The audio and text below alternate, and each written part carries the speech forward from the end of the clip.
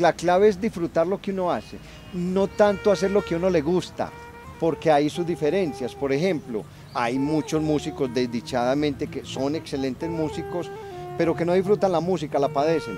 ¿Por qué? Porque tienen una adicción al alcohol o a las drogas o tienen muchos problemas económicos, en fin. Entonces, eh, uno no necesariamente lo que a uno le gusta lo disfruta. Mucho de la clave es lo que uno hace, sea lo que sea, sea músico, sea el trabajo que sea, es poderlo disfrutar. ¿sí? Y mm, porque es que cuando uno está disfrutando de las cosas, uno tiene la sensación de que está viviendo la vida plenamente. Eh, entonces, nada, en mi caso, no, podría disfrutar si yo, por ejemplo, eh, toco, me pagan eh, por tocar, pero después no llego a casa, sino que me pierdo en el camino y después aparezco sin un peso, en fin, eh, empezaría a sufrir a mi familia, yo sufriría, en fin, no estaría disfrutando lo que haría. Entonces, mucho de la clave en la vida, y esa es, digamos, la máxima en la salud mental, es disfrutar lo que se hace. ¿sí? Y para disfrutar lo que se hace, no necesariamente tiene que uno eh, ganar mucho dinero. Si uno, por ejemplo, si yo me comparo con artistas muy famosos, ¿sí? sea de un instrumento, cantantes, en fin, muchos de ellos no disfrutan lo que hacen. Eh, muchos dicen, por ejemplo, yo qué no daría por, creo que se lo oí a Juanes, qué no daría yo por caminar por la playa y tomarme un cafecito, en fin, sin la cosa de la fama. Mm, George Harrison también decía eso, yo quería ser exitoso pero no ser famoso, porque es que eh, la fama tiene mucho de sufrimiento, de pérdida de la individualidad, de la compañía, de la, privacidad, en fin. Entonces, eh, mucho de eso es, disfrutar lo que se hace, hacerlo bien, eh, aprovecharlo al máximo ¿sí? y sentir que eso, que se está viviendo plenamente. Hay muchos músicos que dicen, yo quiero vivir de la música, ¿sí? Entonces, eh, si usted quiere vivir de la música, sí establezca tres cosas, compromiso, disciplina, abandonar viejos hábitos, para que lo logre, ¿sí? Sí, esas son claves. Compromiso, así ah, que si usted va a tocar el saxofón, se tiene que comprometer con él y hay que estudiar. Y mínimo son cuatro horas diarias de estudio, incluidos sábados y domingos, ¿sí? los grandes intérpretes de, o del saxofón o de la guitarra o de un violín, en fin, tocan 16 horas diarias. Por eso son grandes concertinos. Pero es que eso es, Paco de Lucía alguna vez lo decía, cuando le, le preguntan, ah, es que usted ha sido muy exitoso, y él decía, pues si tener éxito es tocar la guitarra 16 horas diarias, bueno, sí, tengo éxito. Entonces, compromiso, que usted compromete a estudiar, pues, a, tocar y a tocar y a tocar y a, no nunca parar en ese sentido, en el estudio.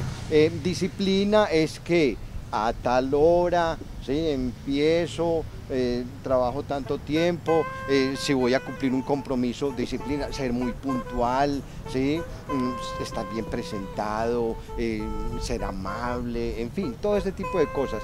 Y abandonar viejos hábitos. Hay muchos hábitos que una persona debe abandonar para dedicarse ¿sí? profesionalmente, en este caso un instrumento. Viejos hábitos como, ah no, pues que eh, también me gusta mucho eh, el fútbol, ¿sí? Eh, o me gusta mucho la guitarra, bueno, entonces decídase pues, decídase, ¿sí? ¿Qué es lo que quiere? A veces mm, hábitos que no son buenos, ¿sí? no dormir bien, eh, tratar negligentemente las cosas, creer que se tiene todo el tiempo en la vida para hacer las cosas. Dedico las mañanas para mm, empezar a buscar nuevos temas para tocar. Mm, uno cómo hace para tocar nuevos temas, eh, tiene uno que escuchar la radio, ¿sí?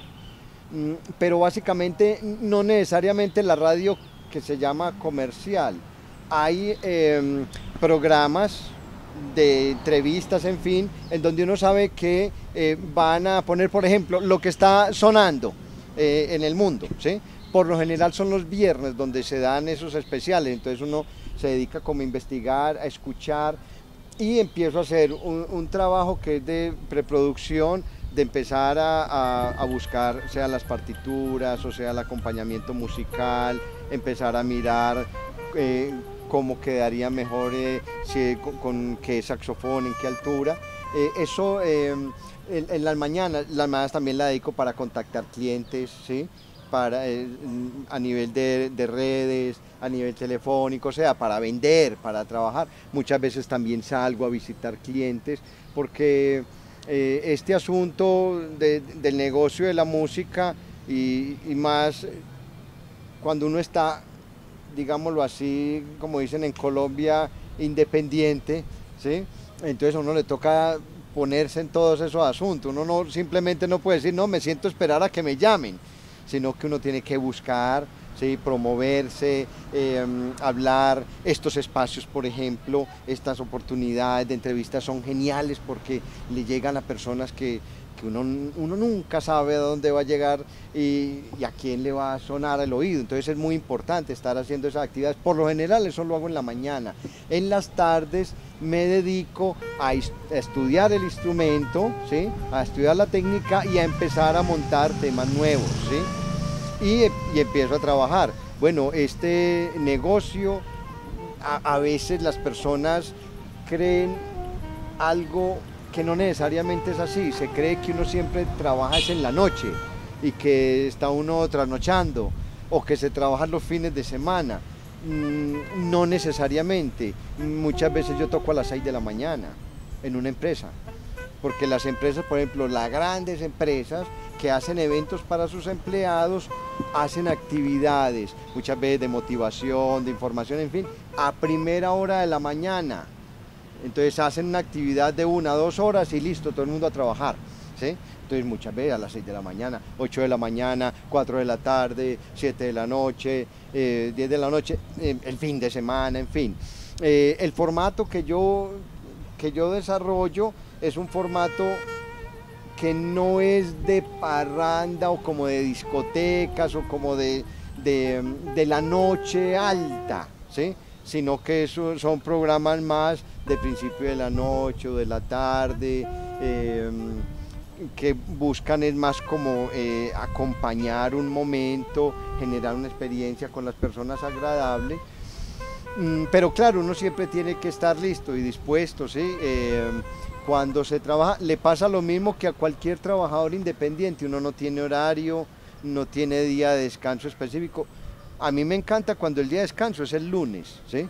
Porque, bueno, buen trabajo, descanso no el lunes, pero uno no puede decir, no es que como es diciembre no trabajo, no, con mayor razón hay que trabajar, no, como es que es un puente, no, no, hay que trabajar, porque esa es la característica de todas las personas que nos toca digamos, rebuscarnos la vida, ¿sí? ser independiente, uno no tiene horario ni fecha en el calendario, en fin.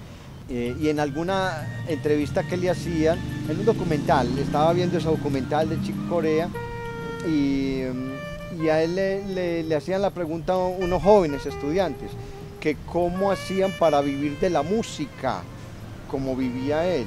Y entonces les decía, y, eso a mí me inspiró y, creo que a otras personas les puede inspirar. Entonces decía, y, yo lo confirmo, es, no piensen vivir de la música, piensen hacer música, ¿sí? Piensen en hacer música, haga lo que usted ama, ¿sí? Disfrútelo al máximo. El dinero viene detrás.